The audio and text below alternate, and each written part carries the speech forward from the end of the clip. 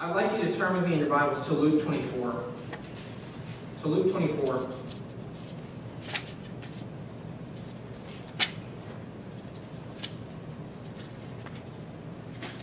In verse 44 is where we're going to begin.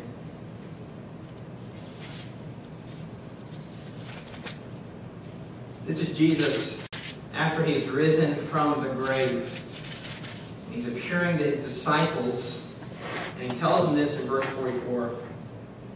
He says, These are my words which I spoke to you while I was still with you, that all the things which are written about me in the law of Moses and the prophets and the Psalms must be fulfilled. Then he opened their minds to understand the Scriptures, and he said to them, Thus it is written, that the Christ would suffer and rise again from the dead on the third day. And that repentance for forgiveness of sins would be proclaimed in his name to all the nations, beginning from Jerusalem. You are witnesses of these things, and behold, I am sending you forth or excuse me, I am sending forth the promise of my Father upon you, but you are to stay in the city until, you are clothed with power from on high. Let's pray that the Lord would give us understanding of the Scriptures as it is his disciples here. Yes, Father, please open our eyes to understand the texts that we're going to look at today as we survey the Scriptures and we see what they have to say concerning the Lord Jesus. As he himself said in verse 44 that the things which are written about him in the Old Testament testify to his saving work. And so I pray that we would be changed as we behold the glory of Jesus Christ. We praise you. We thank you for him. In his name we pray. Amen. Amen. Amen. I will title this the suffering servant. The suffering servant. And Luke 24 is actually not what we're going to be going through. I just wanted to read that in opening. To begin our, to kind of open the door, I guess you could say, to what we will be looking at, which is Isaiah 53. And you have certainly heard of Isaiah 53. It is surely the most popular passage in the Old Testament speaking about the coming of the Lord Jesus Christ, his coming sufferings In fact, a lot of people have dubbed chapter 53 of Isaiah simply the suffering servant. Because it's really what the whole chapter is about. The Savior is going to come and suffer for the sins of God's people. Oftentimes, we as believers, when we want to look at gospel truth, when we want to look at what does the Bible have to say concerning Jesus' death, burial, and resurrection, what we will often do is, where will we flip? Is it the Old Testament or the New? We'll always go to the New Testament. It seems to be our natural reaction. But oftentimes what we forget is that the whole of Scripture testifies to the gospel of Jesus Christ. In fact, that is the main content of the Bible. The Old Testament pointing to his coming and the New Testament saying he has come. The Old Testament looking forward and the New Testament looking backward.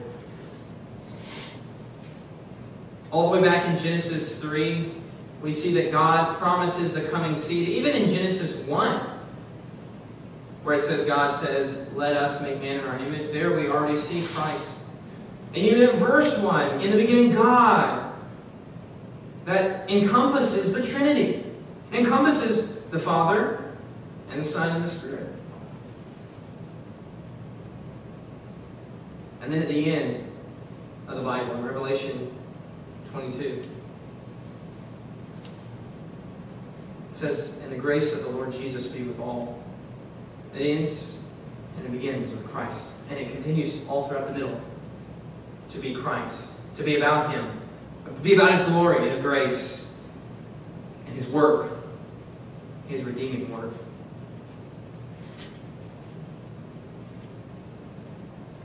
Now, it's very beneficial for Christians to look at the Old Testament record concerning Jesus' work, and here's why. Because the Old Testament is in foreshadowing. It's, it's, it's foretelling. See, the Old Testament, or the New Testament is simply a historical account. The Gospels, all four of those are historical accounts of what happened. But the Old Testament, none of the things that they speak about had happened yet. In terms of Christ, talking about how he's the, the mighty God, the everlasting Father, the Prince of Peace, the mighty counselor, etc., etc. The, the, the soul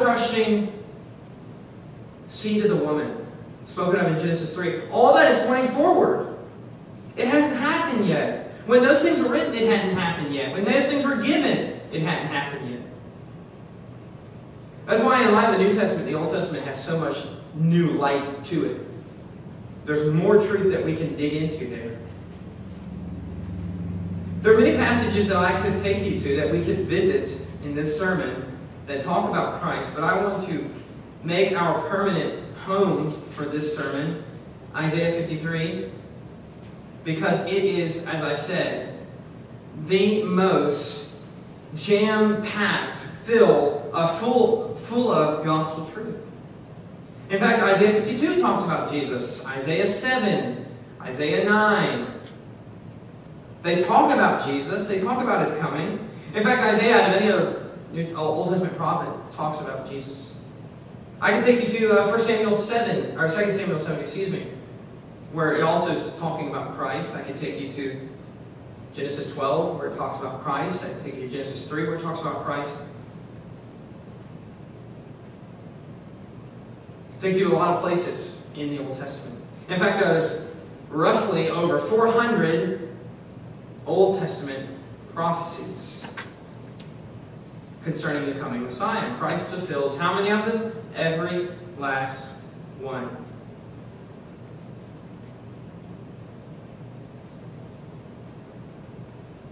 But surely the mountain peak, the summit of Old Testament texts relating to the gospel, would be Isaiah 53 on the suffering servant. And just to note, and this is probably the most incredible truth about this passage outside of the passage itself, and that is this was written seven centuries, that is around 700 years before Jesus is born. So Jesus' grandfathers, grandfathers, grandfathers, grandmothers, grandmothers, they didn't even exist generations hadn't even come about yet. Jesus' ancestors weren't even born. And yet, this passage of Scripture so clearly paints the picture of what Jesus came to do. And now, the book of Isaiah, just to also note on what is Isaiah's main, main message in his book, a lot of it is about judgment, God's judgment on his people for their rebellion. But throughout the book, there are promises of the coming Savior. And here, toward the end of the book, is this very meaty, very weighty promise. Let's begin in verse 2. It says, these words concerning the suffering servant. Verse 2 For he grew up before him like a tender shoot and like a root out of parched ground. What's he talking about? Why would he use that kind of wording to describe Messiah, the coming Savior?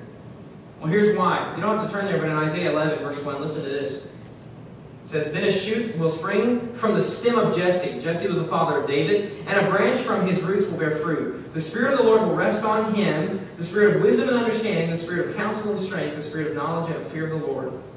And he will delight in the fear of the Lord, and he will not judge by what his eyes see, nor make a decision by what his ears hear. But with righteousness he will judge the poor and decide with fairness for the afflicted of the earth. He will strike the earth with the rod of his mouth, and the breath of his lips he will slay the wicked.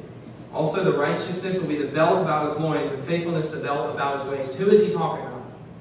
The coming Messiah. But he begins in verse 1. He is going to be a shoot from the spring, or excuse me, he will shoot, uh, he will spring up from the stem of Jesse. In other words, he's going to be a royal descendant. Jesse, again, the father of David. And David was the king of Israel. And so David's lineage is a royal lineage. That's like any monarchy. In Britain, they're a monarchy. If you're, if you're a part of the royal family, you are royal. You're part of that lineage.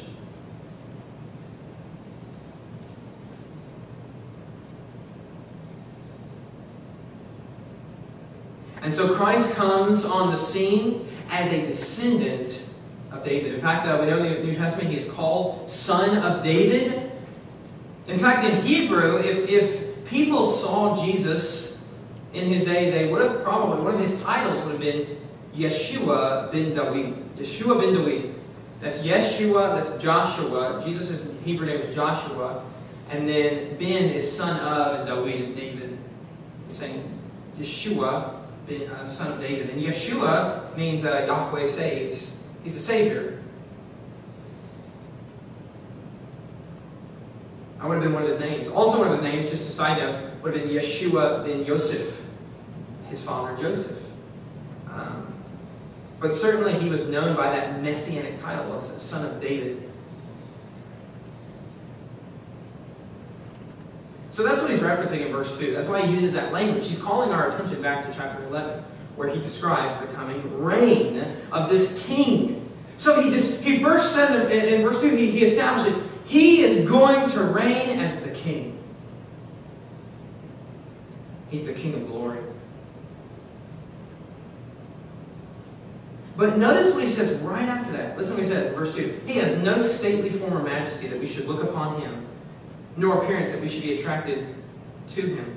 Interesting, we had just, uh, Sydney and I were speaking a moment ago, earlier before the service started, about images.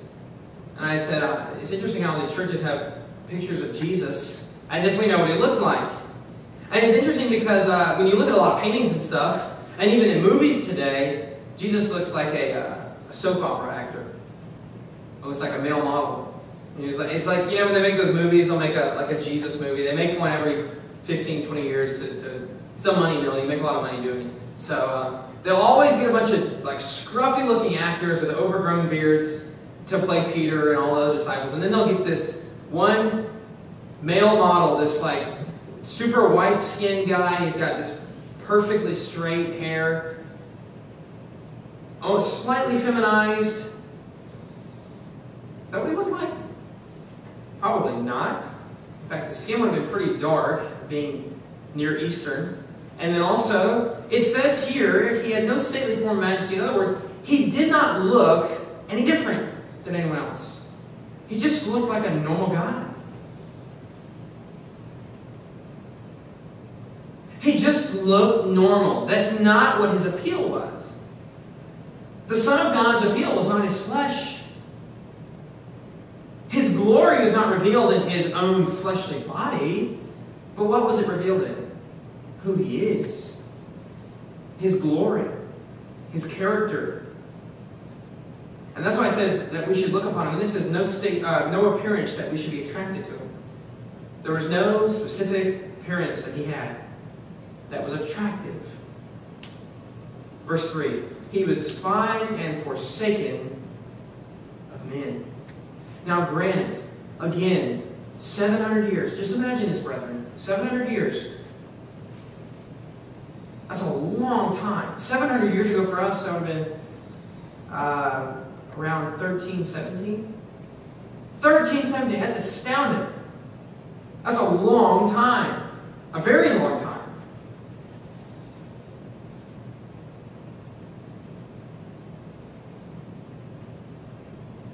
And so he says this in verse 3 prophesying that he would be despised and forsaken of men, a man of sorrows and acquainted with grief, and like one from whom men hide their face. He was despised and we did not esteem him. In other words, people were disgusted by him. We see this in his ministry. Time and time again, what happens? He's hated. He's rejected by his own people. Especially the religious leaders. The Pharisees hated him. He called them out. But it even says they hide, they hid their face from them, from him. Even will look at him. Have you ever had such a disgust towards someone or such an anger towards someone you just didn't want to look at them. Perhaps you may have experienced that for a moment towards someone else. But that's how he was treated throughout his life. So these first three verses of chapter 53 describe and tell us a lot about who he was and what was his what was you know being around him like. He was rejected. He was lowly. We know in Matthew 11 that Jesus invites sinners. He says, Come to me, all who are weary and heavy laden, and I will give you rest. Take my yoke upon you and learn from me, for I am gentle and humble in heart, and you will find rest for your souls. My yoke is easy and my burden is light. He's meek, he's lowly, he's humble in heart. But then we see a switch in verse 4. In fact, your Bible may have it uh, indented, or mine has it where the, the verse number is you know, bold. The letter or the number is boldened so you can tell that it's the start of a new paragraph. So switches here, and then he describes, really throughout the end of the chapter, the work of the suffering servant. So now he's told us a little about, about who he is, and now he's going to tell us what he did, or what he's coming to do. And it's interesting how does Isaiah, what kind of language is he employing? Does he speak of it in a present or in a future tense? How does he speak of it? In a past tense. He uses the past tense. He speaks as if it was completed. And you know, this is amazing. This is what's so glorious about the cross of Jesus Christ. The cross is something that God had ordained from the foundation of the world to come about. That's why Isaiah prophesies like this. That's why the Bible tells us he is the Lamb that was slain from the foundations of the earth. This was something God had ordained to bring about. And so, what was it specifically? Well, verse 4. First word, surely. In other words, this really happened. Praise God that it did. He says, Surely our griefs he himself bore, and our sorrows he carried.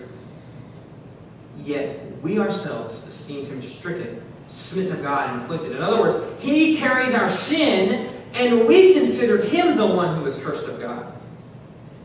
What Isaiah is saying is, he takes our, our curse of sin upon himself, and even though he did that, we look at him as if he was cursed, as if he was forgotten of God. Verse 5, but he was pierced through for our transgressions. How precious that is to our hearts, brethren. And interesting, even this to the smallest details fulfilled, because what happens upon the cross? What happens even before he's even before he's crucified? He's whipped. We know that they use the cat nine tails. It's ripping the flesh off the body. He's being pierced by those, those vicious weapons of torture. And then he's nailed where? His hands and his feet pierced through for our transgressions. Even that, even that is fulfilled. It says he was crushed for our iniquities. What is hell? What is hell? It is the wrath of God falling upon sinners. It is God crushing the ungodly. But what is the cross? God crushing his son instead. That's what the cross is. Christ satisfies the wrath of God for us.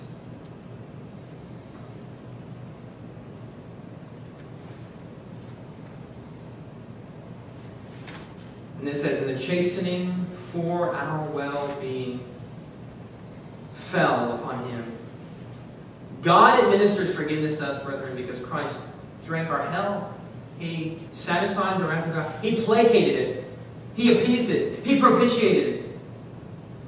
He was a soothing aroma in the nostrils of the Almighty. In other words, God was pleased to slay him so that we would not be slain. That is love. That is the love of God.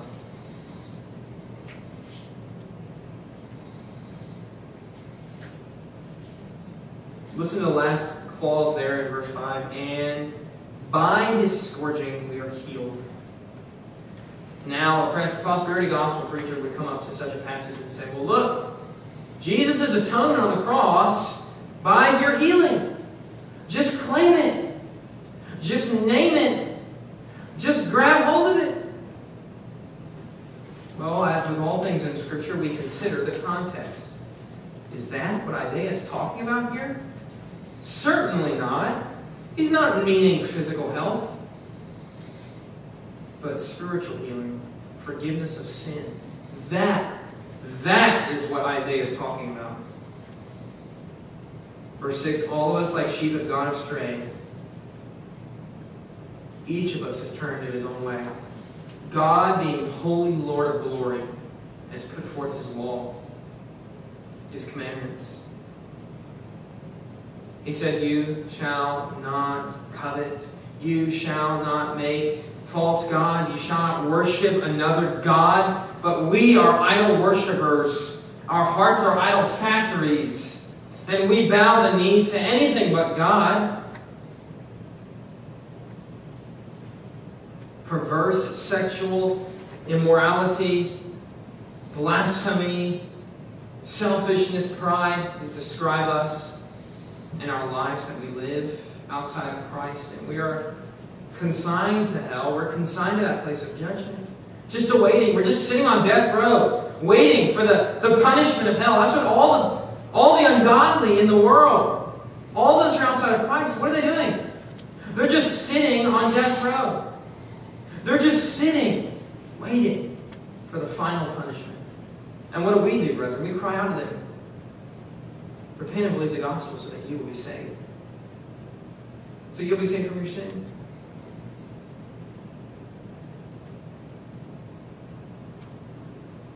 So we've all gone astray. We've turned our own way. And I love the next three words. But the Lord. It reminds me of Ephesians 2, when the Apostle Paul says in Ephesians 2 1, and you were dead in your sin. And he goes and he describes the state of ungodly people who are not saved. In fact, I will turn there, you don't have to, but in Ephesians 2, verse 1, Paul says, And you were dead in your trespasses and sins in which you formerly walked according to the course of this world, according to the prince of the power of the air, of the spirit that is now working in the sons of disobedience. Among them we too all formerly lived in the lusts of our flesh, indulging the desires of the flesh and of the mind, and were by nature children of wrath, even as the rest. Well, listen to this, verse 4.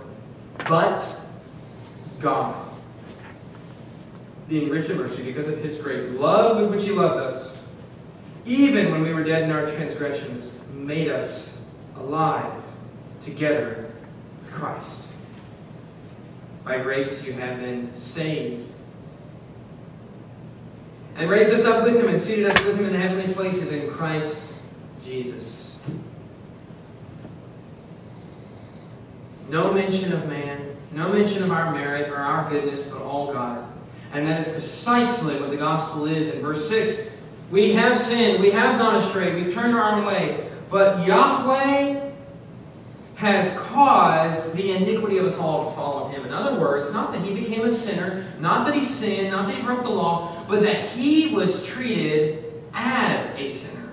He was counted as unrighteous. He took our guilt. Verse 7 He was oppressed and he was afflicted, yet he did not open his mouth. Like a lamb that is led to slaughter, and like a sheep that is silent before its shears, so he did not open his mouth. Was he not oppressed and afflicted? Absolutely. He died as an innocent man, treated as guilty. And notice even, even this, okay, seven, keeping in our minds, 700 years. Even the part of him keeping his mouth closed when he was afflicted, even that is fulfilled in Jesus' life. Because what we see in the New Testament, what happens when he's taken before the, the Sanhedrin? And the, scri- and the scribes, Pharisees ask him to make a defense for himself. What does it say he did? He did not open his mouth. He did not make a defense. He did not say anything. Why? Why? To fulfill the scriptures.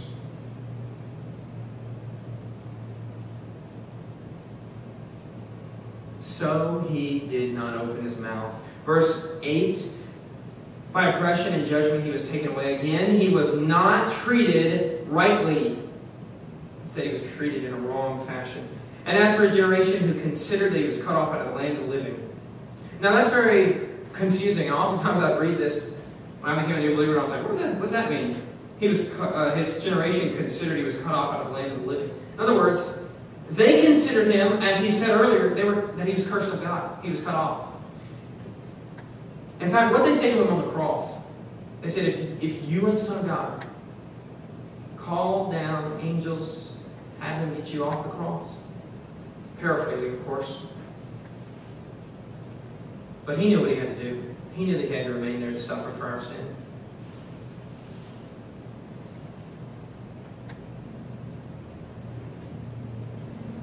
They thought that he was cursed of God because he was being treated in such a horrible way.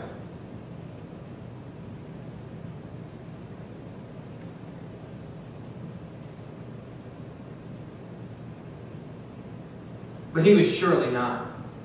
He became a curse for us, as Galatians 3.13 says. It says, Cursed is everyone who hangs upon a tree. He became a curse for us. And then he says at the end of verse 8, For the transgression of my people, to whom the stroke was due. In other words, the stroke of judgment, the stroke of damnation. For the transgression of my people, God says. Or, I, excuse me, I'm sorry, not God, but Isaiah, the, the people of God. Isaiah says, For the transgression of my people, to whom the stroke was due. In other words, is there anyone else that could die for sin and pay for it? No, because it takes God to pay for it. That is why hell is infinite. Hell is an, an, a never-ending torment. Here's why. Because God is infinite. And when you sin against an infinite God, you earn for yourself infinite punishment. You have offended an infinitely holy and pure and righteous just judge. The one who's given you so much and such grace and yet you repudiate him in your heart. So the only way hell's punishments can be removed from us is what? How? How? How can it happen? God, Almighty God, infinite God, has to pay an infinite price. It's astounding, really, because you think about it. How can a man who is hanging upon a cross for just a few hours 2,000 years ago pay for the sins of a great multitude of people that would never have to go to hell and would never suffer. It's because that man who hung upon that cross was no mere man. He was not merely a prophet. He was not merely a teacher. He was not even merely the Son of God, but he is the second person of the Blessed Trinity, eternal God, the very God of God, the creator of all things, the great I am, hanging on the cross. That is why the deity of Christ is absolutely non-negotiable. We will not compromise this because it is at the heart of the gospel.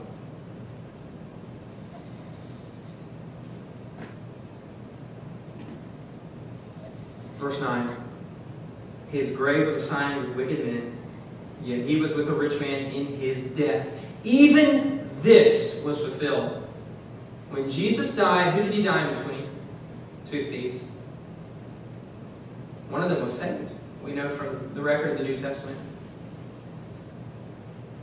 So his grave is assigned with wicked men. He dies aside or in between two wicked thieves. And then it says, Yet he was with a rich man in his death. Now that even is fulfilled. Who buried Jesus? Was it Peter? Was it John? Was it disciples? Was it the women? Was it even Pilate? Was it Roman soldiers? Was it the Jews? Some man burst on the scene. Joseph of Arimathea. Just out of nowhere, comes out. We don't know much about Joseph, but we do know that Joseph of Arimathea was most likely wealthy. You could say rich. And here's why. The New Testament tells us he laid Jesus' body in a tomb that no other body had been laid in. It's fresh, freshly cut, freshly made. And that would have cost pretty penny. It even cost a lot to bury people today. Back in those days, the same thing. And so Joseph of Arimathea purchases, or has perhaps inherited in his family, this tomb, who no one's ever been laid in. This virgin tomb, and he lays Jesus in there. So even, even this is fulfilled 700 years later. At the end of verse 9, because he had done no violence, nor was there any deceit in his mouth. There it is again. He's innocent. He's innocent. He didn't do anything. But listen to verse 10. Listen to the contrast. Okay, he does nothing wrong. Verse 10. But the Lord was pleased to crush him. Same thing he says in verse 5. He was crushed for our iniquities. It's the same thing here. Now, there are multiple views that have arisen within the church throughout history. Well, I'll say the visible church, among Christians, quote unquote down through the ages, different views on the atonement of Jesus Christ. There is one view that says, well, he just died really as an example. There's one that says, well, he died to pay the ransom to Satan, so we could be bought from Satan and we could be in the family of God. Such views are unbiblical. They have no ground in Scripture. He didn't die as an example merely. He didn't die to pay Satan to buy us. Satan's in God's hand. God is sovereign over Satan. He is bound. He is bound.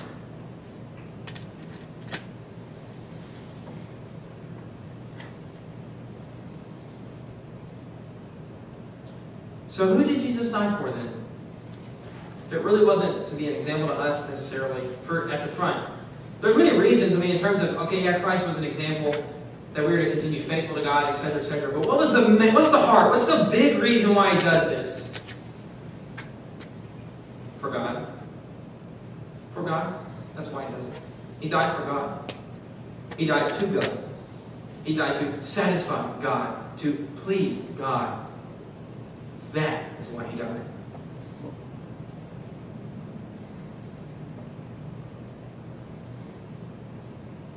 The Lord is pleased to crush him. Put him to grief. In fact, uh, this whole chapter, if I could choose my favorite verse favorite line or two lines, it would be verse 10. Because this is our salvation. As I said earlier, hell is God releasing his wrath and his judgment on sinners, but the cross is God unleashing it on his Son so he could show grace and forgiveness and salvation to us, my dear brethren. And so he says, if he would render himself as a guilt offering, he died for guilt. He will see his offspring. He will prolong his days. And the good pleasure of the Lord will prosper in his hand. Notice what he says. He says, if he does these things, if he dies, I'm going to give him things. I'm going to give him offspring. I'm going to prolong his days. And the good pleasure of the Lord will prosper in his hand. Who are his offspring? He's talking about actual children? No, spiritual. We are the spiritual offspring of the Son. He will prolong his days. Jesus will reign on his throne forever. All these things are fulfilled. He, and the good pleasure of the Lord will prosper in his hand. He delights in God. He's seated at the right hand of the Father right now. All this points to Christ's fulfillment. Verse 11. As a result of the anguish of his soul. Brethren, my dear brethren, many people will say, it must have been horrible for Jesus to have been nailed to that cross, to have been beat, to have been spat upon and humiliated. Absolutely. And I never want to take away from his physical suffering. But let me draw your attention to something. What does verse 11 say? That God is satisfied by. Is it the anguish of his hands? Is it the anguish of his feet? Is it the anguish of his back or his body? Is it the anguish of anything physical? No, the text simply reads, the anguish of his soul.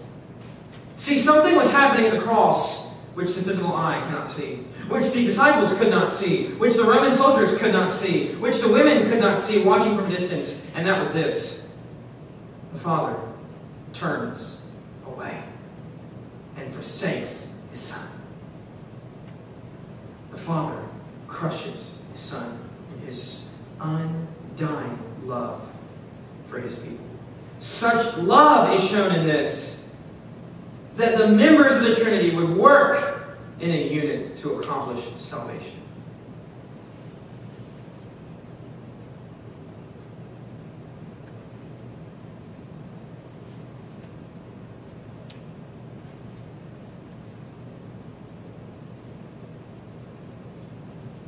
God saw the suffering of his soul he was satisfied. What did Jesus cry out at the cross? Eloi, Eloi, lama sabachthani. That is, my God, my God, why have you forsaken me? He was satisfied by that. Verse 11, by his knowledge, the righteous one, my servant, will justify the many. This is the result, brethren. God justifies us. He declares us righteous. He looks upon us as having lived Jesus' life, as having been forgiven of our sins, as having been a perfectly righteous. He will justify the many as He bears our iniquities. He bore our sin. Think about your sin. Let it break you. But let the cross of Jesus Christ bring such joy to your heart this day. And not only that he died, but rose. He's alive. He rose on the third day. We do not meet on Friday or Wednesday or whatever day Jesus died upon. We meet on the Lord's Day, on Sunday, because he rose on this day. He rose victorious. He defeated the grave. In verse 12, listen to the promise that God gives to his Son. See, as I spoke on, on Wednesday night, Salvation is a covenant between the Father and the Son, the eternal covenant of redemption. God elects his people to salvation in eternity past, and the Son, in agreement to that, comes and fulfills that covenant. He keeps it. And so God then rewards him, and that's why in verse 12 he says, Therefore I will allot him a portion with the great. In other words, I'm going to give him a reward. He will divide the booty with the strong. He will be, he will be the King of glory because he poured out himself to death. Are you struggling with assurance? Are you struggling with assurance of your salvation? Look to Christ, brethren. Shall any drop of the Savior's blood be in vain? Shall his death be in vain? Shall his satisfaction of God's wrath against your sin be in vain? May it never be. No. He's satisfied. It's gone.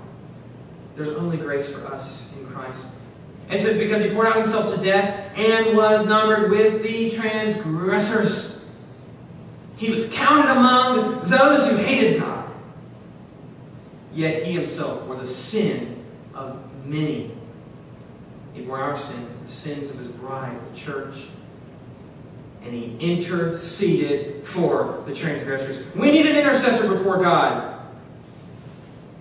What, is the, what does Rome tell us? What does the Roman Catholic Church tell us?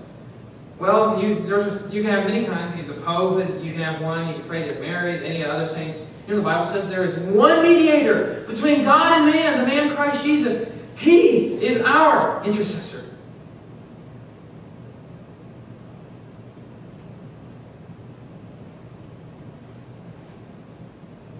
And he will intercede for us. Think about that right now, brethren. Just let your mind meditate upon that, that Jesus right now is in heaven, is seated on, the, on his throne, at the right hand of the Father's throne, and he's interceding for you. Satan comes and makes accusation, as the Bible says, one after another against us, and someone takes up our case. Who is it? Christ. But notice, unlike in the court of law on earth, what does the defendant often do, or the, the attorney, do, attorney do for the defendant? They'll talk about how good they are, their accomplishments, this and that. You know what Christ does? He doesn't argue for us. He argues his own righteousness, his own performance, his own death, his own resurrection. He argues what he's done And every single time, justice is brought about. Because Christ pays for our sin, He satisfies the wrath of God, and God administers eternal redemption for us and forgives us. He has and forevermore will forgive us. This is the work of the suffering servant. This is what Christ has done. And notice, again, 700 years before Jesus came. And not only that, but he speaks as if it's already happened. That's because this lamb was slain from the foundation of the world. This eternal covenant of redemption was made in eternity past. And Christ has fulfilled it. Hallelujah to the God of salvation. The God of grace and of glory.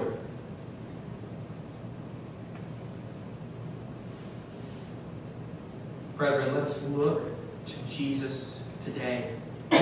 Whatever's going on in your life, whatever you're struggling with, perhaps it is assurance of salvation, perhaps it is something totally different. Perhaps a trial, financial strains, an issue with a family member, whatever it may be. Look to Him. Look to Christ. Or on the days when you feel great about yourself and everything's going good, look to Christ. Look to Christ. When everything is going bad, look to Christ. He is our joy. He is our God, our exceeding joy, as Psalm 43 4 says. And so we find our joy in Him. And if you've never truly looked to Christ, turn the eye of faith to Him today. If you're outside of Him, come and drink freely of the waters. If you're outside of Christ, I invite you to come. As Isaiah 55 1 says, Ho, everyone who thirsts, come to the waters. And you who have no money, come buy and eat. Without, come buy wine and milk without money, without cost. Why do you spend money for that which is not bread, and your wages for that which does not satisfy? Listen carefully to me and eat what is good, and delight yourself in abundance. Incline your ear and come to me. Listen that you may live, and I will make an everlasting covenant with you, according to the faithful mercy shown to David. Behold, I have made him a witness to the peoples, a leader and a commander to the peoples. Verse 6 Seek the Lord while he may, he may be found. Call upon him while he is near. Let the wicked forsake his way, and the unrighteous man his thoughts, and let him return to the Lord. And he will have compassion on him, and to our God, for he will abundantly pardon. That is the offer of the gospel, and it is extended to everyone. It is extended to all. Come, that you may have life. He who thirsts, come. Come to the water. Drink.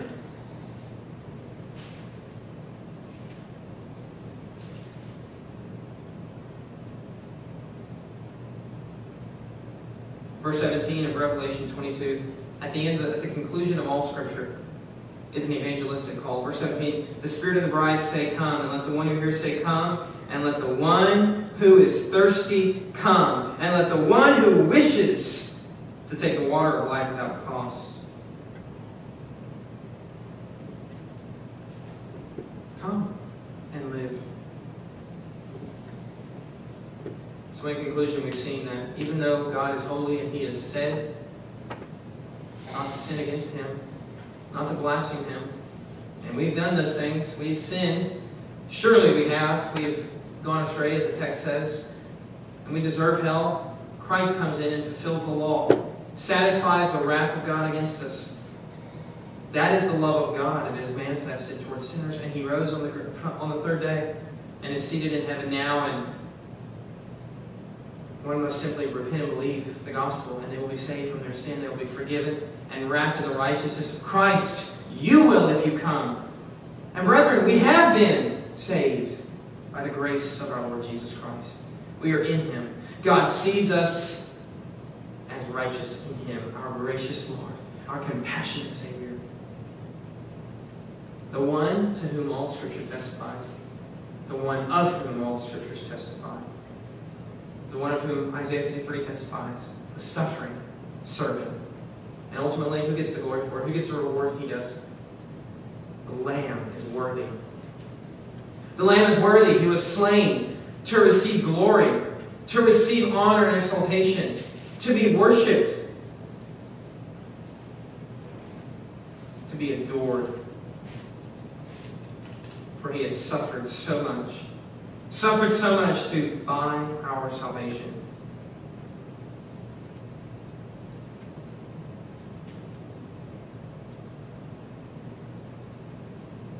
In Revelation 7, verse 10, the great multitude of those who will stand in God's presence in glory one day say, verse 10, Salvation to our God who sits on the throne and to the Lamb. And all the angels were standing around the throne and around the elders and the four living creatures, and they fell on their faces before the throne and worshiped God, saying, Amen.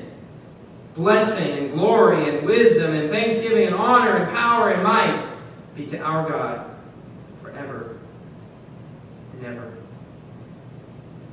Amen. May to this suffering servant be glory forever. Let's pray. Father, what more can I say other than thank you? As even one of the most simple Bible verses, John 3 16, says that you sent your Son because you so loved the world. You did this because you have a particular eternal saving love for your church. We thank you, Father. We thank you. We worship you. We glorify you as the God of glory, the just, holy one. Hallelujah to the Lord of hosts. Blessed be the Lord, the Lord of hosts, from everlasting to everlasting. And we love you, Lord God, in reciprocation for the love with which you have loved us.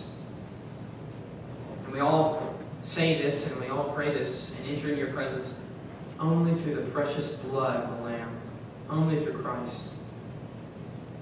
We would not dare try any other way, whether it be ourselves or some other teacher or false preacher. It's in Christ alone. Our hope is found. In Christ alone, so that He gets glory alone. Amen.